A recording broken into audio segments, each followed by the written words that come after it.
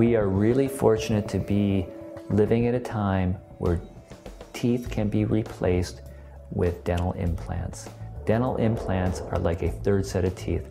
Unfortunately, even with all the wonderful advances there are in dentistry, sometimes a tooth is lost. And nowadays we have a really wonderful option to replace teeth.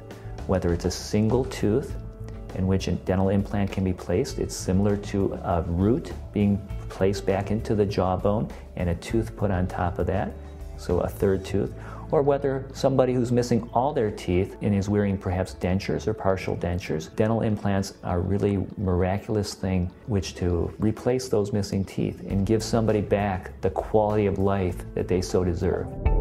The advantages of dental implants over conventional dentistry being fixed bridge work or removable bridge work or complete dentures are first and foremost a dental implant helps to maintain the existing jawbone.